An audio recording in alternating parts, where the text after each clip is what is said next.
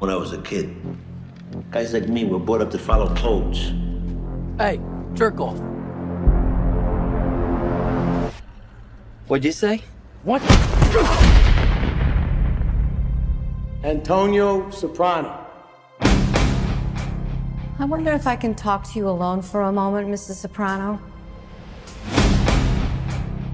On the basis of the Stanford Binet, he's high IQ. You can't prove it by me. He's got a D plus average. Well, he doesn't apply himself, but he is smart. The results tell us he's a leader. Ankle Dick. Growing up with the family takes a toll. Maybe an ambassador to England or France. You're my nephew. Might like to gamble. I want to do whatever I can to help you. You may be a businessman. My gift to you. I want to go to college. I can't get caught with shit like this. Look, you take the speakers, right? At the same time, you say to yourself, this is the last time I'm ever going to steal something. It's that simple. Let me go talk to him. He only listens to Dickie. Gotta do something about Dickie Moltisanti. As far as your nephew goes, I'm listening. stay out of his life. Arriving October 1st in theaters and on HBO Max, New Line Cinema's The Many Saints of Newark is a feature film prequel to David Chase's influential HBO crime drama, The Sopranos. The movie was shot on location in New York and New Jersey, with a cast including Alessandro Nivola, Leslie Odom Jr., Jon Bernthal, Corey Stoll, Ray Liotta, and Vera Farmiga. The teenage Tony Soprano is played by Michael Gandolfini, son of James Gandolfini, the original Tony. Joining us in this episode are director of photography Kramer Morgenthau and production designer and Sopranos alum Bob Shaw. Shaw is an Emmy winner for Boardwalk Empire and Mad Men and received three additional nominations for his work on The Sopranos. He was also Oscar nominated for Martin Scorsese's The Irishman. Morgenthau is a six time Emmy nominee whose credits include Game of Thrones, Boardwalk Empire, Thor the Dark World, Creed 2, and recent release Respect. I'm Carolyn Giardina. Welcome to the Hollywood Reporters Behind the Screen.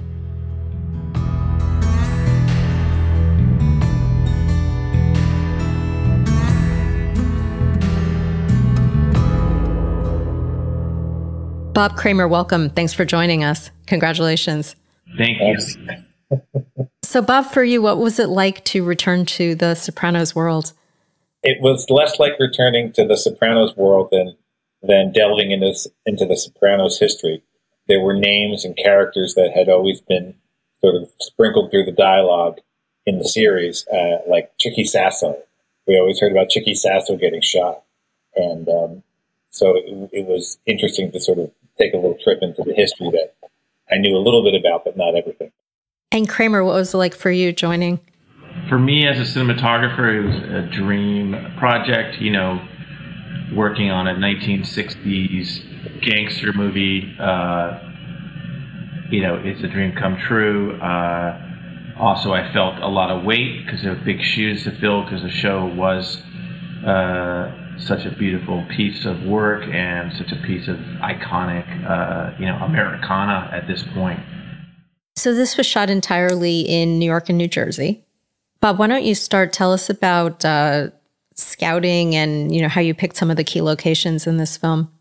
Well, it's interesting. We uh, first went and looked at the, the neighborhood in uh, in Newark where things would have really taken place, and found that it was a little too changed, and um, all of the houses were covered with vinyl siding, and they all had replacement windows and uh, different uh, alterations over time. And we then started looking for neighborhoods that looked a little bit more like Newark would have looked, and we found ourselves in the Bronx, and um, partially I had done a film a couple years ago where we shot almost all in the Bronx, and there are certain neighborhoods that haven't changed. They still have the same um, those metal awnings that are over top of the doors and windows.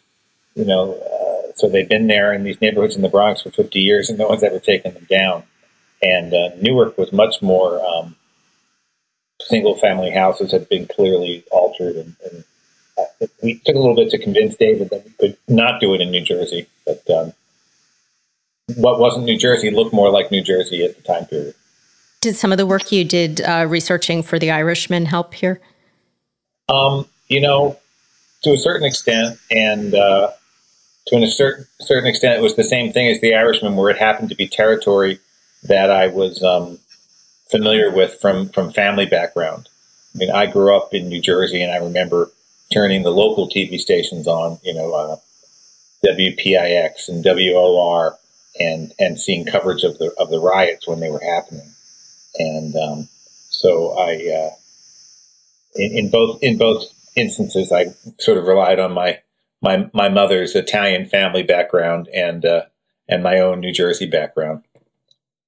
Kramer, what was the overall look that you talked about with the um, with, your director and the filmmakers initially um, that you wanted to create?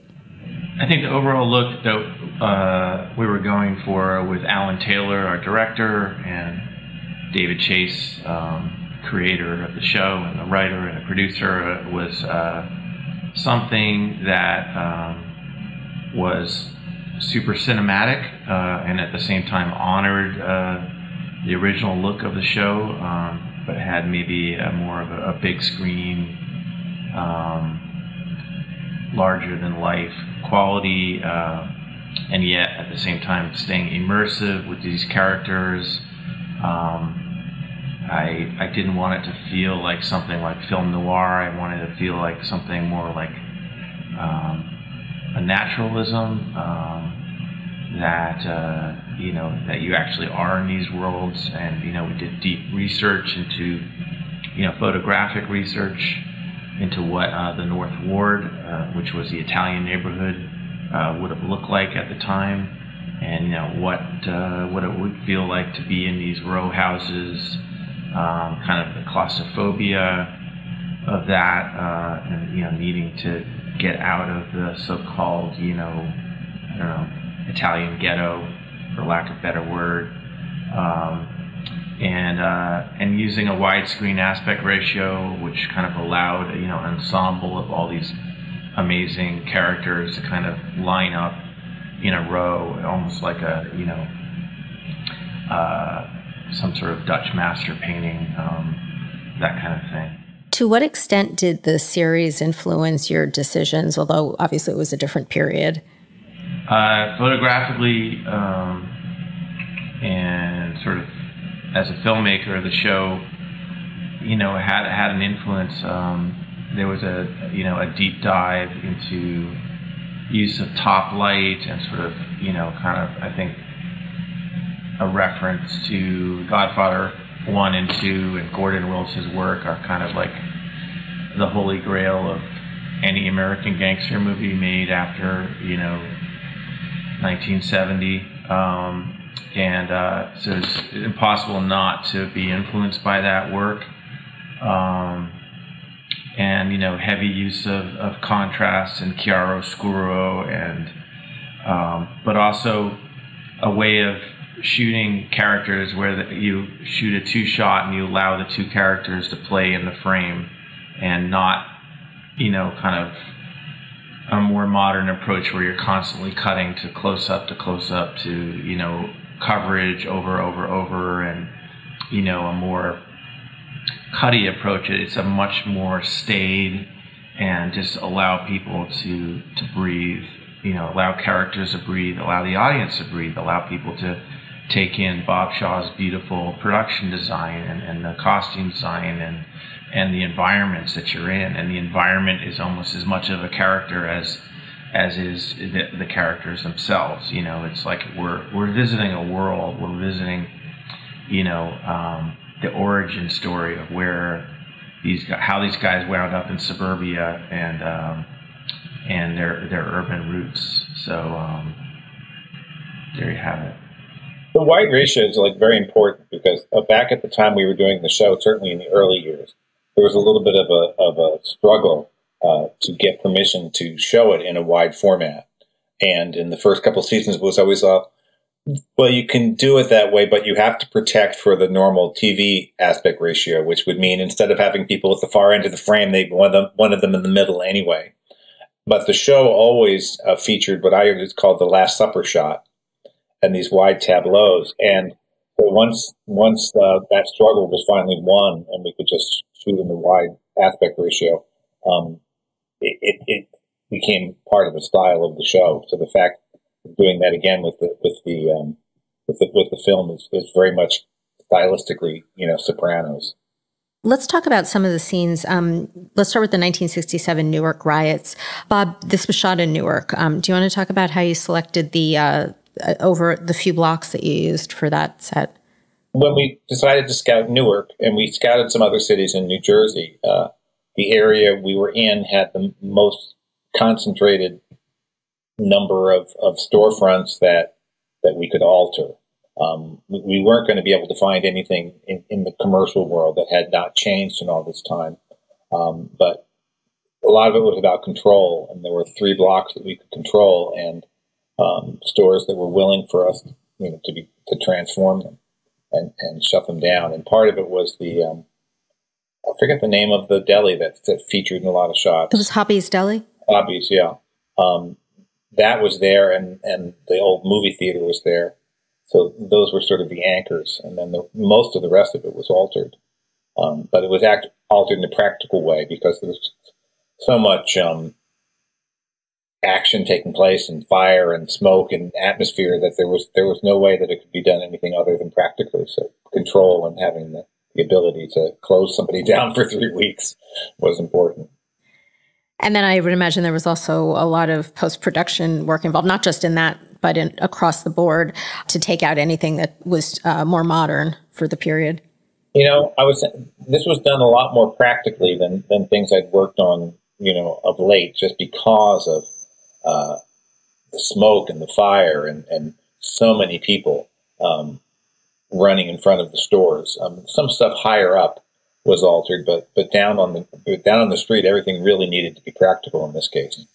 Shooting the Newark riots uh, was one of the great challenges of, uh, of shooting many Saints of Newark, and we have so many different um, sort of takes on how to approach it. We just wanted to, you know, do it as sensitively as possible and not to glorify it or, you know, fetishize uh, the violence or the, you know, the rebellion is really what it was, and. Uh, uh, we you know did a very deep dive into archival footage of the actual event and um, and all the uh, photojournalism around it, and uh, it's a very uh, careful study, and hopefully you know hopefully we got part of it right anyway. Uh, we shot with Panavision uh, lenses, which were T series anamorphic lenses that were tuned in such a way to kind of have a bit of a period uh, feeling to them, and we use Arriflex large format cameras. And I believe you also did some uh, grain and manipulation in post production. Yeah, we used something called LiveGrain, uh, which is a way that it's kind of scans of real film grain. Uh, we Peter Doyle, a colorist, uh, did a, a bunch of uh, lookup table work to kind of do film emulation and that kind of thing. Kramer, tell us about your approach to lighting the actors.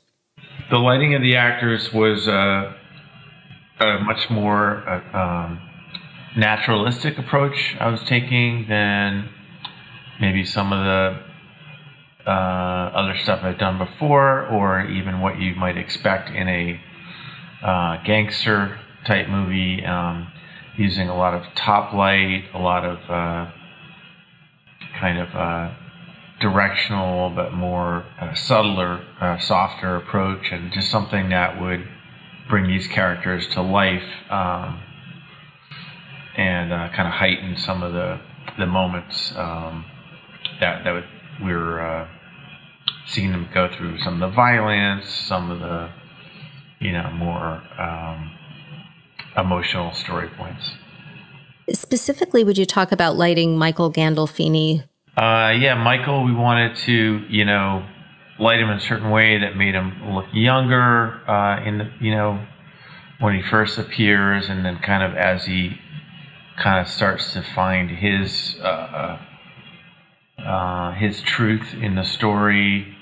You know, give him a little bit more of a kind of tougher quality and uh, maybe sort of shaped him more and uh, let some of his uh, foreshadowing of who he's going to become as Tony Soprano come through later on.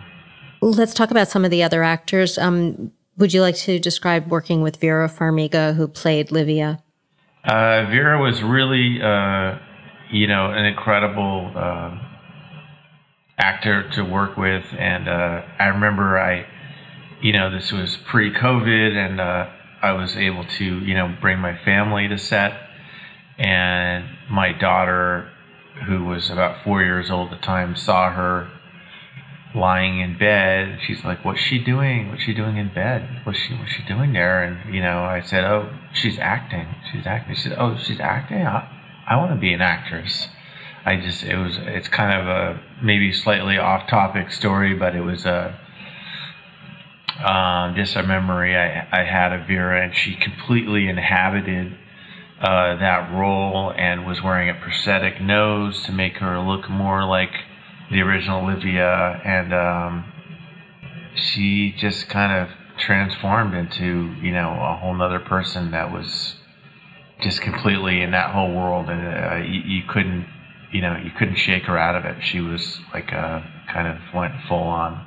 What about working with uh, Corey Stoll as Junior?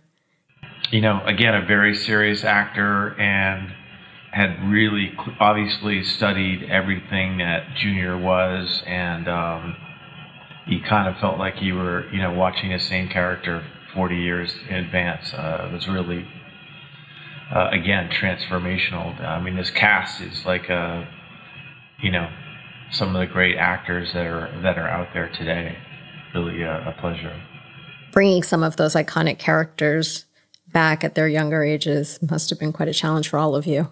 Yeah, you know, it was. Uh, we did a lot of tests with them and with their hair and their makeup and um, you know, the right glasses, Corey, and you know, you know, part of what we do as cinematographers is help bring the characters to life, and uh, you know, the great actors understand how much cinematography is a part of their characters' uh, portrayal, and they uh, they love to get uh, involved in the collaboration and really understand how light and the right angle and um, you know the right lens is uh, can make all the difference in how they're they're brought to the screen.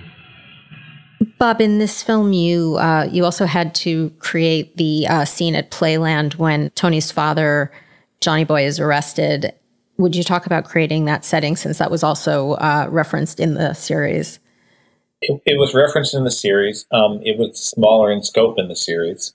Um, we went to Rye Playland um, because it's um, an amusement park, which really, uh, for the most part, is is old style and things are wooden and and, and it had and it had the right look. But we were able to give it a, a bigger scope than um, than that was done in the series, and uh, so we, we, didn't feel compelled to try and recreate what had been in the series. We tried to do what was the best for for this script, sort of coming to a cold, as opposed to you know feeling the need we had to recreate the pork store, but not you know not feeling we had to recreate the uh, the amusement park. And then you also have a scene set at Holsten's, the restaurant where the final scene of the series takes place. Uh, would you talk about going back to that setting, which I believe is in Bloomfield, New Jersey? Yeah. Well, one thing that was handy was that the people who own Holsten's have owned it for a long time, and they were able to provide us with some photographs of what it looked like back in the day, as they say, and the, the, the awnings that were on it and how the signage was different. So uh, it's the same location as in the, the, last scene in the series, but it's uh, it, it's how it looked uh, 30, 40 years ago. There were awnings in the front. There was signage in the front. I mean, we were looking at these pictures with magnifying glasses, literally trying to figure out what, what the objects in the window were. And so we really didn't do that that much, other than some changes of signage and some um, and, and, and the awnings that were there. Uh, awnings were a big thing at the time, still, you know uh, and they didn't have these plastic awnings that they put on stores now. Kramer, do you want to talk about shooting that scene? I'm, uh, I, I mean, that the location in the uh, original obviously has become so iconic. Yeah, I mean, shooting the scene is a, you know, again, it's like taking a, a piece of uh, Americana and, uh, you know, having the honor of photographing it. it, it the, the, the restaurant itself is kind of stands alone. It, it, it, it's a timepiece in the middle of a, a block in New, in Bloomfield, New Jersey, that doesn't nothing around it really feels like of the era. So when we looked out the window uh, at Tony, young Tony, um, sort of standing there in this sort of lone figure silhouette, looking out the window. Nothing out there was really period correct, so we had to put a giant blue screen in one direction and then use a plate of a background from just maybe about just sort of half a block away that Bob had dressed. And uh, the inside of the restaurant really felt like you were you were back in the 70s, and um, there was kind of like layers of kind of texture that are there, and then Bob, who is a you know genius of many kinds, but of of detail and you know um, making sure everything in the shot is right, that you could kind of photograph it and it feel when you, as soon as you're pointing the camera, you feel like you're you're going back in time. It was kind of uh, it was magical, you know.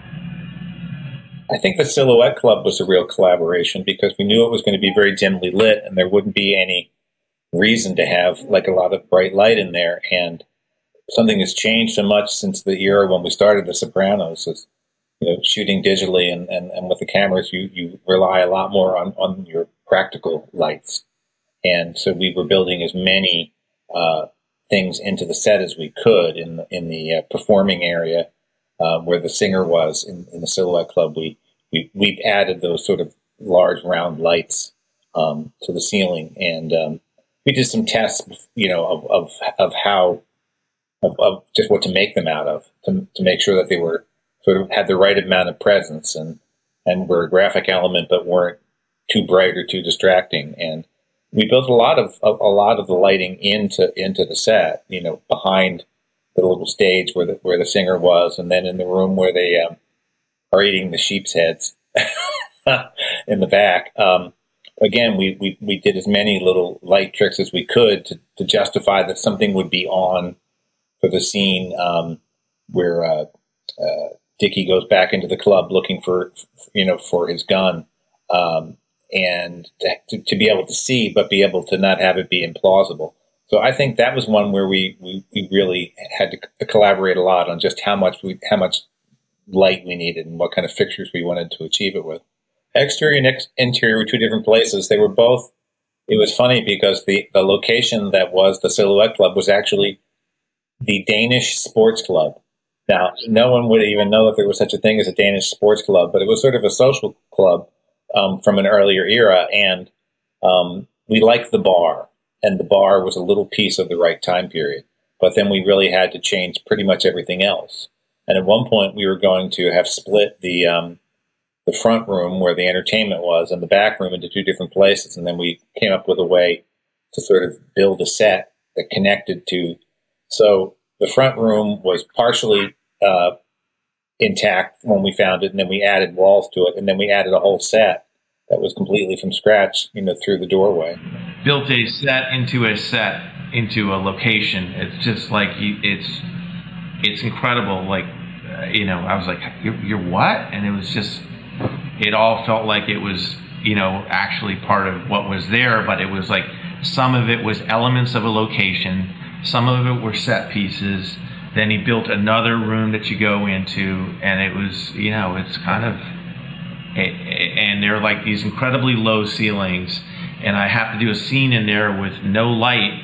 You know, it's the lights of power has gone out because, you know, one of the characters has shut off the lights because they're chasing each other, and I'm like, Bob, how the, how do I light the darkness? And I, the ceilings are too low to hide movie lights, so we collaborated and built these round fixtures that look like they're supposed to be there and that can go from looking like tungsten lights to looking like kind of moonlightish stuff and it was like a it was a you know it was a great collaboration. And then the outside was um was chosen because we needed the outside to work for the action and and and the shooting and the cars, you know, and all of that. It just had nothing to do with where we were. But it was a real again. It was like a real club, or was it a funeral home? It was a German. It was a German club. we were going to different older clubs in New York, and it was in it was in it was in Astoria, or was it in? Um, uh, it was no, deep it was, in it Brooklyn. Was, it, it, was in Brooklyn. Um, yeah, and you know and, one thing about shooting in the outer boroughs, and Bob's genius is that he find you know that architecture in the outer boroughs of Manhattan uh, has not changed, you know, and it has to do with you know economics of these neighborhoods. They have not been gentrified, and he goes out and just drags uh, like a you know a fine tooth comb through all these neighborhoods and finds these gems that haven't changed. And you know, we're there was not a lot that needed to be changed. I mean, you changed the facade, but it was a real facade and then the buildings around feel like you are in Newark in 1967 or you know whatever the exact date was. But it's like it's part of it is finding you know the architecture that's you know a diamond in the rough out there. The, the surrounding buildings drove the location choice more than the facade of the club. And um, Alan had some very specific blocking in mind. And we would get out and scout somewhere, and Alan would go, you know, we'd wait for him to figure out whether the geometry worked for him. The storyboard, he had drawn storyboards, so we had to find locations. And Alan has this thing where he's with his fingers and his, he's kind of looking at where the characters line up and how the eye line and if it's going to fit in his location. And then he actually redrew the storyboards once you found that great location. It's, it's funny that when Alan goes to a location, you're looking around and it's like, where did he go? And you look and he's like on top of a standing on top of a fence because he wants a high angle. And it's like he hasn't killed himself yet. Or he's lying on the ground you know, yeah, he's, like a, he's, like a, billy goat and he's, he's like he's everywhere. he's high he's low he's you know like, where, and, uh, where do you go? And he's like yeah he's up on a fire escape and it was your turn to watch him. Did the two of you feel um, a different type of pressure working on this project, knowing that there were so many fans that have been, you know, dissecting and analyzing these characters and their story for decades? I mean, I didn't. I didn't feel any particular pressure um, because it's um, we're, we're, dealing with different characters, and the characters that are familiar to us are, are much younger. And um, to me, it was a good thing to, to to revisit the show, but to revisit it many decades earlier. And uh, I think that kept it from being any kind of, of, of, of pressure situation.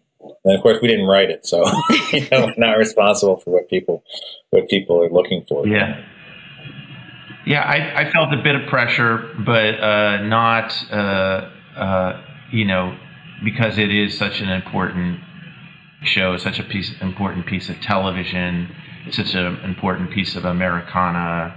Uh, it's an important piece of uh, you know. It's one of the first shows that had a great anti-hero it's one of the first shows that kind of allowed uh, the arrival of peak television, as I call it, of the golden age of television. Um, it kind of put cable on the map, put HBO on the map. Um, it, uh, it, you know, it kind of caught the attention of of you know feature filmmakers that were like, wow, television it can be like a feature film. So I, it was that was all in my mind.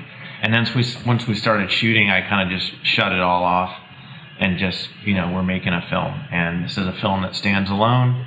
And as Bob said, it's a film that's from a completely different time period. And, uh, you know, we want to, you know, we want to do something that stands alone. So. Bob, in your production design, are there any, um, you know, subtle Easter eggs that you would point out for fans to watch for?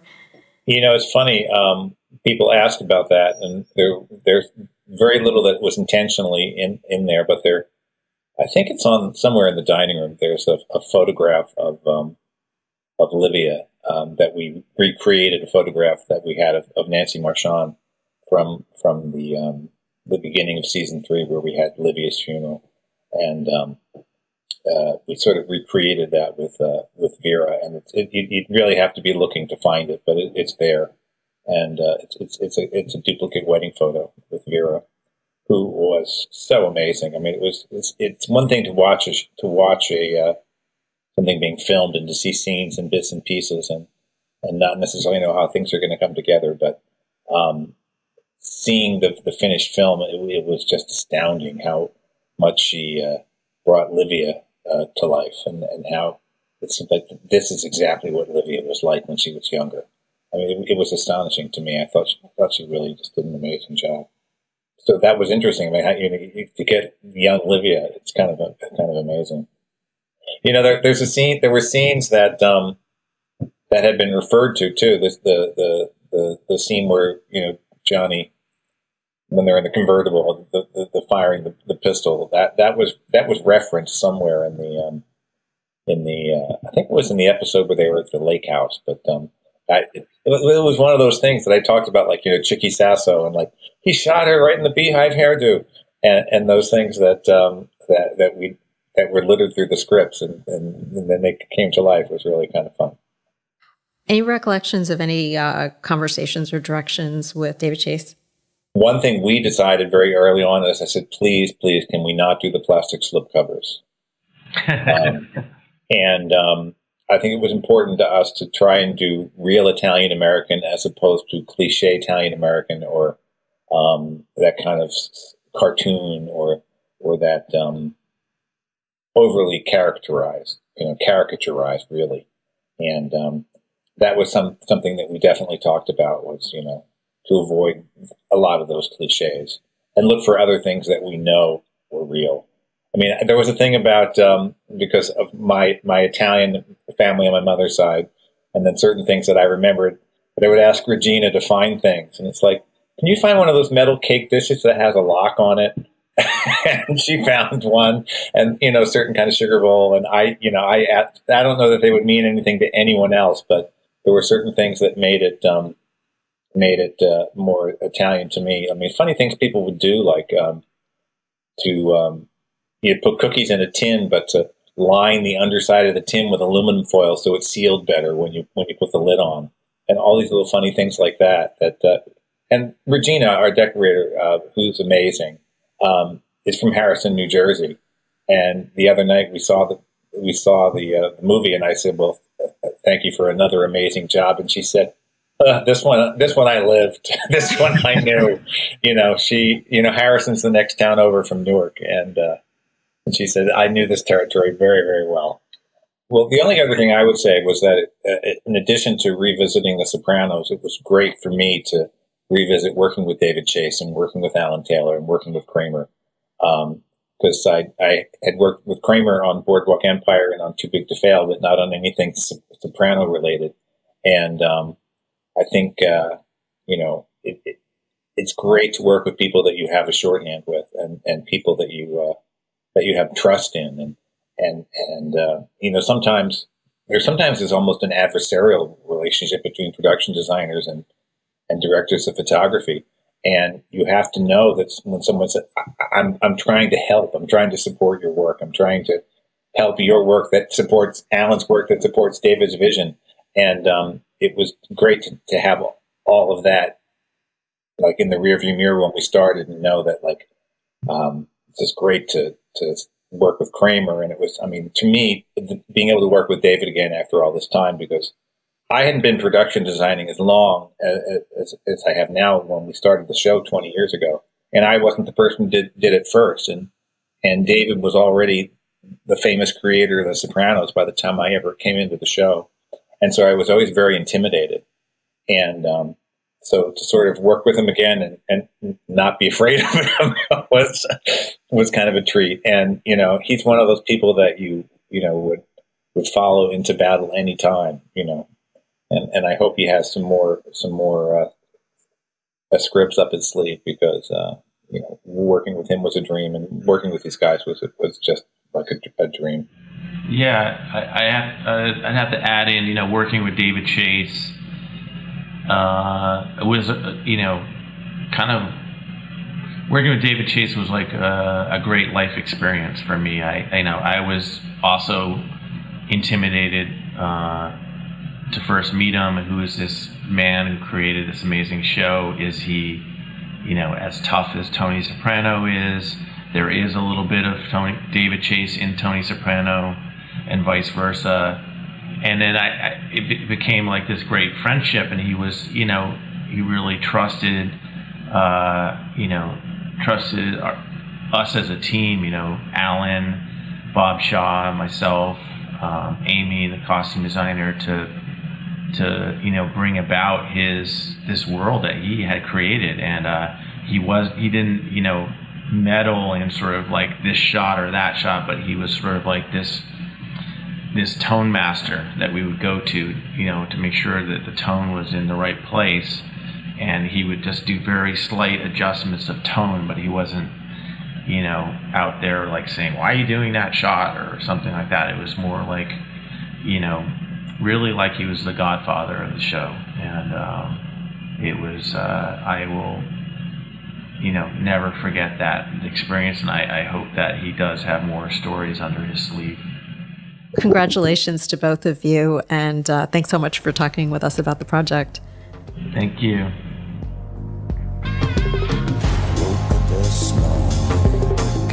yourself.